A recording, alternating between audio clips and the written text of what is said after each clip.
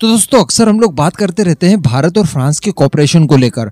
हर क्षेत्र को ले लीजिए आप। भारत और फ्रांस का जो कॉपरेशन है, वो एक अलग लेवल का है। या यूँ कह दीजिए कि भारत के लिए धीरे धीरे दूसरा रशिया बनते जा रहा है फ्रांस। वो कैसे? आगे आज आपको मैं इस वीडियो में सब कुछ बताने वाला हूँ। ये वीडियो इतना ज़्यादा इंपॉर्टेंट है कि इसकी किसी भी चीज़ को आप मिस मत कीजिएगा। मैं आपको सारी कुछ चीज़ें एकदम डिटेल में बताऊँगा। इन सब चीज़ों के मायने बताने वाला हूँ, क्योंकि रफाल से संबंधित अब तक की सबसे अच्छी खबर निकल कर आ रही है। तो चलिए वीडियो शुरू करते हैं। बस नीचे कॉमेंट बॉक्स में। जय हिंद ज़रूर लिख दीजिएगा। तो दोस्तों, बताया जा रहा है कि फ्रांस की डसोल्ट एविएशन, जो कि रफाल का निर्माण करती है, भारत की बीडीएल जो कि डीआरडीओ की मिसाइलों का निर्माण करती है, इन दोनों के बीच में एक एमओयू साइन हुआ है। इस एमओयू में ये कहा गया है कि भारत बीडीएल द्वारा निर्मित की गई किसी भी मिसाइल का इंटीग्रेशन कर सकता है रफाल में। और ये बात आपको सुनने में बहुत छोटी लगी होगी, लेकिन अब इसके मायने आप समझिए। आपको याद होगा, कुछ ही दिन पहले मैंने आपसे कहा था कि जो मिग 29 के है, भारतीय नौसेना में इस्तेमाल किए जाते हैं, हमने रशिया से खरीदे हैं, इनके अंदर डीआरडीओ द्वारा बनाया गया मिशन कंप्यूटर इंटीग्रेट किया जाएगा। उसका कारण क्या था? ताकि भारत के सारे वेपन सिस्टम, जो कि डीआरडीओ ने तैयार किए हैं, उनका इंटीग्रेशन हम लोग मिग 29 में कर दें। कहने का मतलब आपके हथियारों का इंटरकनेक्शन चाहिए होगा आपके फाइटर जेट के मिशन कंप्यूटर से। यही एक कारण है कि दुनिया के किसी भी फाइटर में आप कोई भी दुनिया की मिसाइल नहीं इस्तेमाल कर सकते। इसके लिए मिसाइल निर्माता और फाइटर जेट निर्माता दोनों की सहमति चाहिए होती है। तो वही सहमति एक्चुअली भारत और फ्रांस के बीच में हुई है। इसी का नतीजा है कि फ्रांस के रफाल भारत के डीआरडीओ द्वारा निर्मित मिसाइलों को कैरी कर पाएँगे, जिसके लिए रफाल के जो मिशन कंप्यूटर में भारत की मिसाइलों का इंटरकनेक्शन करना होगा। ताकि रफाल का मिशन कंप्यूटर कमांड देकर हमारी इन मिसाइलों को ऑपरेट कर सके। और ये सोचिए कि कितनी बड़ी बात है, ऐसा केवल S U thirty M K आई में अभी तक हुआ है। यानी जिस तरह से S U thirty M K आई डीआरडीओ के लिए एक टेस्ट बेड बन चुका है, कोई भी मिसाइल बनाई S U thirty M K आई से इस्तेमाल की जाए। तो एग्जैक्टली वही सारी चीज़ें अब रफाल के साथ होंगी। तो ये कितनी बड़ी बात है भारत के लिए, सोचिए आप। और यहाँ तक भी आपको थोड़ी सी छोटी लग रही होगी। इसी एमओयू में ये बात के ऊपर भी राज़ी बनाई गई है दोनों देशों के बीच में। कि दुनिया में जितने भी रफाल इस समय ऑपरेट हो रहे हैं, किसी भी देश के द्वारा, अगर उन्हें भारत की मिसाइलें चाहिए तो वो खरीद कर उनका इस्तेमाल कर सकते हैं। यानी यहाँ पर एमबीडीए जो कि रफाल की मोस्ट प्रॉब्लम मिसाइल्स को बनाता है, उसका खेल ही खत्म करने वाले हैं। क्योंकि एमबीडीए की तुलना में भारत की डीआरडीओ द्वारा बनाई गई मिसाइलें बहुत ज़्यादा सस्ती है। फ़िलहाल जो नाम सामने निकल कर आ रहे हैं, उसमें अस्त्रा फैमिली है Astra mark one mark two mark three Shaw है।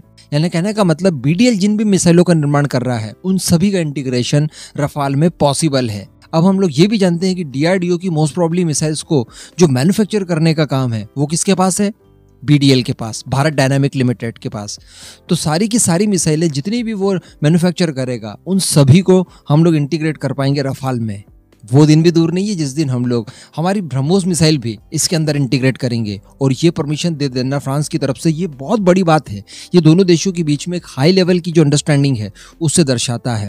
क्योंकि हर कोई ऐसा नहीं कर सकता। अगर हमने रफाल की जगह कोई अमेरिकन फाइटर लिया होता या फिर कोई यूरोपियन फाइटर लिया होता तो ये सारी चीज़ें पॉसिबल नहीं थी। केवल और केवल फ्रांस ही इसके लिए राज़ी हुआ है।